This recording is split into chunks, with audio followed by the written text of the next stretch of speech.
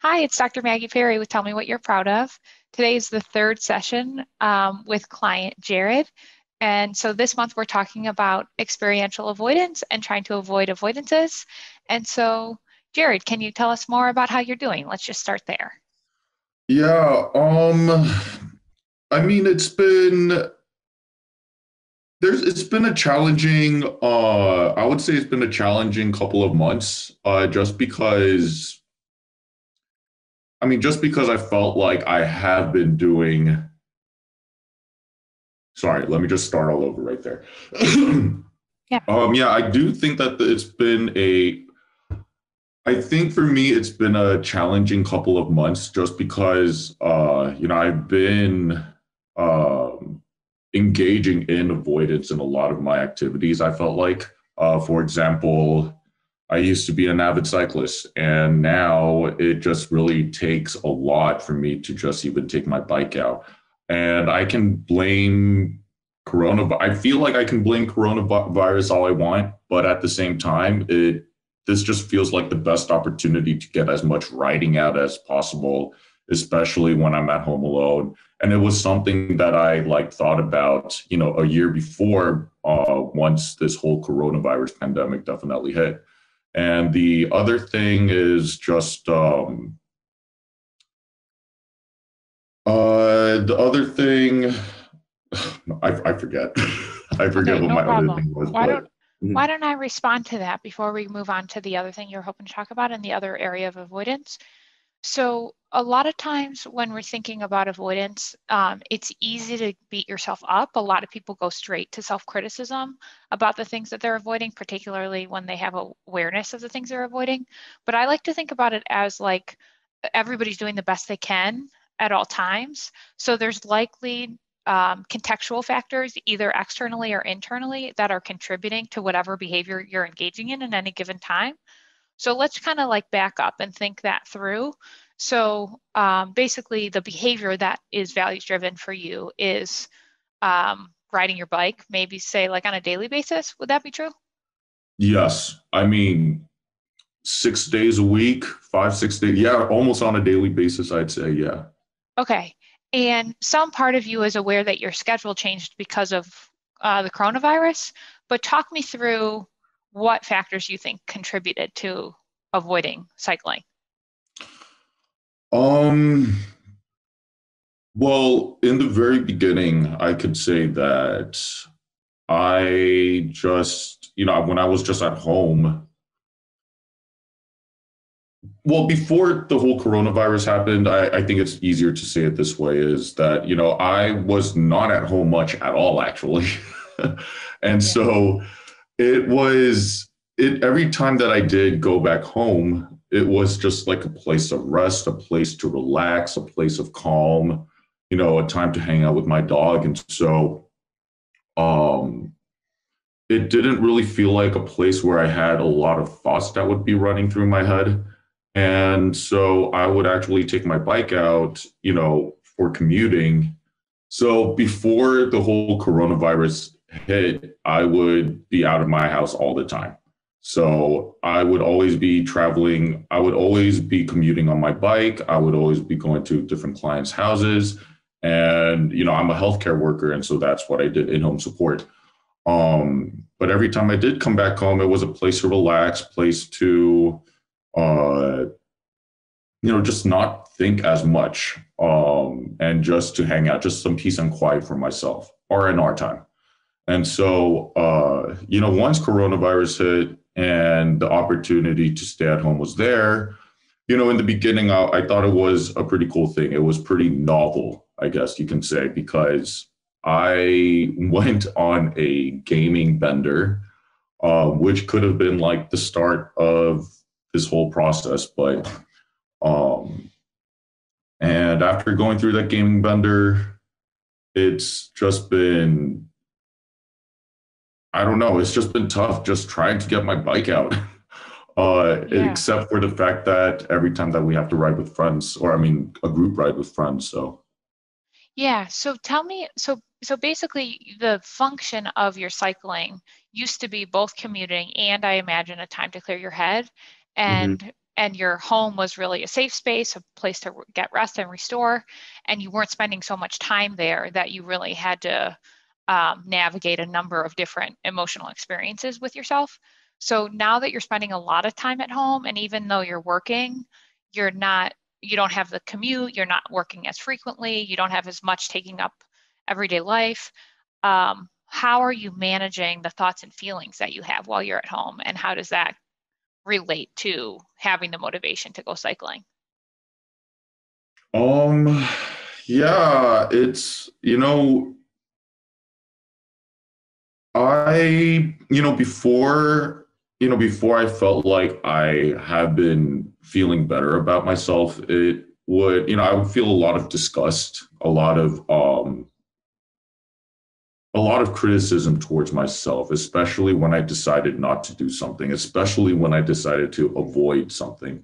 And so, uh, but now it's been a little bit better, like the self talk, just having a little bit more compassion with myself, um, because a lot of the same thoughts go into my head as what I, you know, back in my rock bottom period. So like things like, you know, I can't do this, you know, like you are so um like phrases such as you're worthless, you know, you're helpless, you know, you're you're you just need to depend on somebody to get your shit going. You know, th- there were those thoughts in my head before um you know, before I felt like I was starting to feel better and now it even that has been a little bit of a challenge if I have to be truthful. Um, it's been a bit of self it's it's been a bit of self criticism talk lately, but at the same time, um, you know, I am able to show a little bit more self compassion towards the decisions that I've been making. Um, just telling myself that it's okay, but I don't know how how much longer I can go on with that. because if I just keep avoiding and not making any progress, then then I feel like there's no point in actually doing that. Then it's probably better if I I don't know. Sometimes it feels like it would be better to self-criticize than to self um to show a little bit more self-compassion sometimes. But well, uh, I I imagine self-criticism seems like it's effective when it feels like it's so aversive to be critical that you just want to do the thing so that you don't keep feeling so aversively.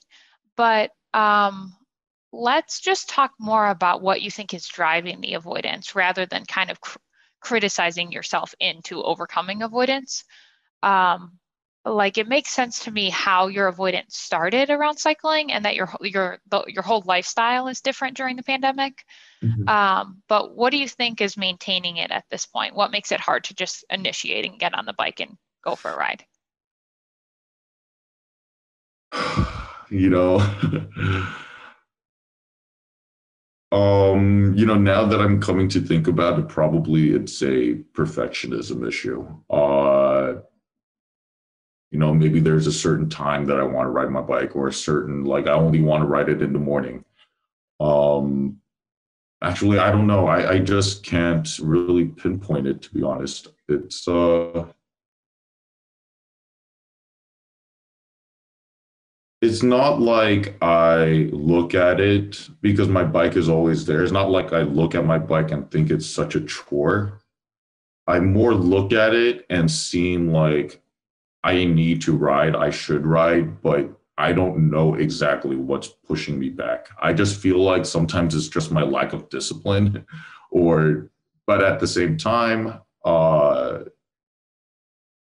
you know, I mean, I know I shouldn't be thinking that either.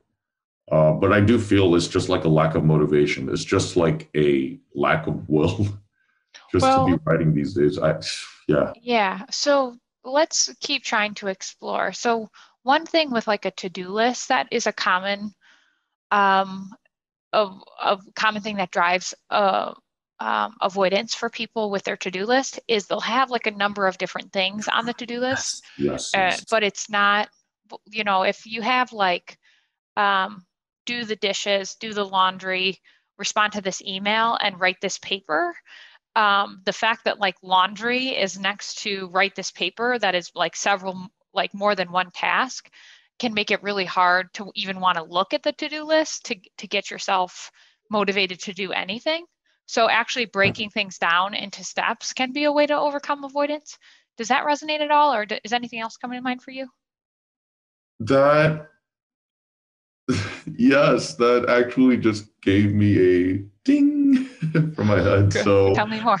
Uh, like a light bulb. Um, yeah, my my to-do list. You know, I have several to-do lists. I have one on my phone. I have one on my whiteboard right here, and I've realized that I do exactly that. Like do laundry or like clean the floor, like uh, uh, Bath Miko, and then right next to it would be like assignment two do or an assignment three do. And those would be like things for grad school and stuff. And I just find it, and I do have this like let go feeling, like giving up, like, ugh, you know, that uh, that sigh that you get after like reading the to do list and you still haven't gotten those things done yet. And sometimes you just want to not look at it. And so there's times where I just don't want to even look at my to do list just because I don't want to. I think that is also kind of like the same feeling I get when I don't want to ride my bike or whenever I look at my bike and it's just like, uh, you know? Yeah. Um, so if you were going to try to frame up the task of riding into something that you could easily do and you would immediately feel effective about it, how could you break down what you have in your mind as like in some way in some way it sounds like the daily ride has become like write this paper, which is like something that you just want to avoid when you look at it. Um, so how could you change the way you think about what you need to do into something smaller that you're more likely to be effective at?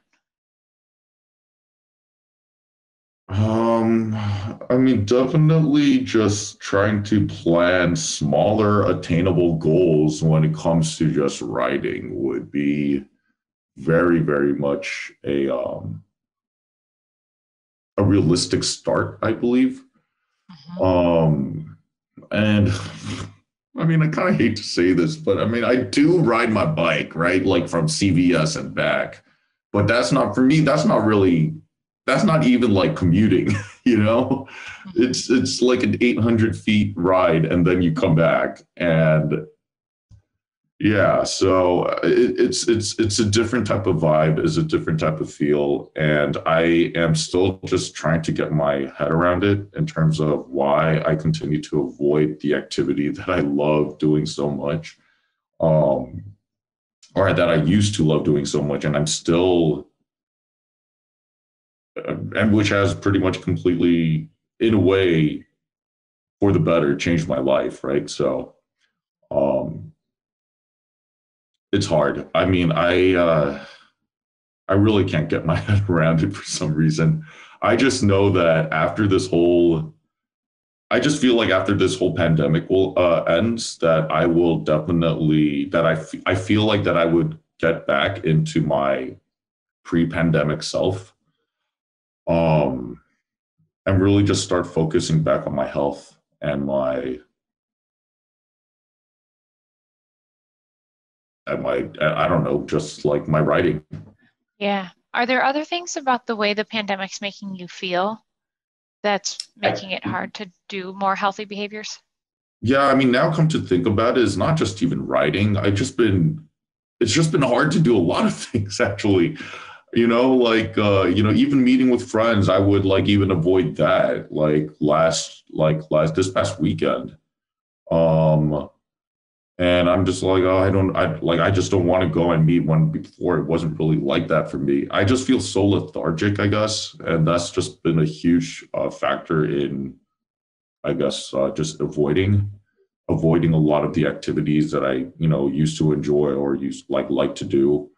Um, and the weird thing is that I, I mean, I can't really tell if it's like depression or anything. I don't feel depressed but I do feel like a lot of my symptoms and a lot of the behavior that I've been like kind of trying to be self-aware of have been symptoms of, you know, probably depression or or some form of anxiety. Um, mm-hmm. well, the depression, it sounds like do you, do you feel interested in cycling or meeting up with your friends or and then you're do you feel interested in that, or, or have I, you lost interest? I, I do. So that's the, I, that's my thing. I do. Um, I still like. It's still a passion of mine to like you know biking and all that, and meeting up with friends. It's like I I am interested in, in that moment, but especially when the time comes, um, it's just hard for me to just get up and just like get shit done. Um, so yeah, yeah, it actually sounds more like a difficulty with initiation than with depression. Yeah. Mm-hmm. Um, and I wonder if having structure in your life pre pandemic really helped you maintain initiation. Like once you got going and once you had structure, you kept that going. And now that you don't have structure, it's just really hard on any given day to create structure for yourself and initiate tasks that you find valuable. Oh my God. Yes, Maggie. I think you literally described it per- perfectly. I don't know why it's so hard to say something so clearly. Um, yeah, I really do think that having that structure, and it's funny, I felt like I was exerting so much more energy back then pre pandemic. Mm-hmm. Exerting energy in terms of I've been riding my bike every day for 15 miles, then going to my in home support, uh, you know, work that I do. Um, and that takes a lot of physical uh, energy out of me too. And the thing is, I felt more alive. so, um, yes, I do think that is this lack of initiation that I struggle with on pretty much a constant basis, given my ADHD content. It's just been. Yeah. That's what I was I hate to too. think about it. Yeah. Um, but if sorry to interrupt you, but if I can just talk about that a little bit more in terms of a differential, when we're looking at avoidance in the context of depression, we usually see either sadness, hopelessness, helplessness, guilt, or anhedonia, which means a lack of interest in things that you usually find pleasurable. So, Jared, you are not describing depressive symptoms in that way, but avoidance and depression might be kind of similar behavioral presentation where you don't want to see your friends, you don't want to exercise, you don't want to eat or you want to eat too much, you don't want to shower those types of things could be happening if you were experiencing depression. Where with anxiety, avoidance usually looks like a strong um, physiological experience of anxiety if you go towards something. So if you don't do something like you don't respond to an email or you don't write that paper, you don't call that friend back, you might not feel any anxiety. But as soon as you were um, in front of the phone about to make the call, you'd probably get anticipatory anxiety. So that would be an indication that it was anxiety dri- driving avoidance. And then what you were just describing, Jared, which I really appreciate, was avoidance in the context of ADHD, which is more of a trouble of initiating tasks. And I think in your case, um, being totally without structure because of COVID has really made your ADHD symptoms more prominent. Yeah, um, I think that's said perfectly. And I do believe that if I'm able, if I'm kind of forced out of my house, you know, like going to school or going to work um, in that manner instead of always being on the computer, I think that would kind of, I would, I would hope that it would make a bit of a difference um, in my lifestyle. Uh, I hate to blame it on coronavirus. I really do. Um, because, well, I wonder, yeah. it's okay because coronavirus really did change life drastically for most people and it's okay mm-hmm. to be impacted by that. I wonder if there's any kind of hack so to speak where like there there's a way to create more structure for yourself so to to get this initiation going. So if something like as soon as i take out my dog then i go for a 5 mile ride could you create something like that before you got your day started that might once you got in the routine of that it would provide the structure that you needed yeah, it's possible. Um, I felt like I've tried to think about that. Like I've definitely thought about that before, but haven't really, you know, put it into action. But if I, but now I guess if I am, I guess if I can get kept accountable, then it would be much easier. Sure. So are you willing to say, um, do that like two times between now and the next group? Yes. Yes. Okay. And, and do you want to make it is a five mile ride a good um, type of ride to make? Like, is that a good commitment or something more or less would be a better commitment? I think I can start off with it doing like a three mile, a three mile ride. I'll, I'll just need to do that first. Okay, and is it is it actually a good time for you, like right after you take out your dog, or is there something else that you want to tie? It's always a good idea to tie a new behavioral commitment to some other behavioral commitment that you always do, like I always brush my teeth and then I take my meds or something like that. Right, so right. is I take out my dog and then I ride, I go for a ride. Is that a good yes, for that, you? That's actually a great commitment. Um, and okay. when I wake up earlier.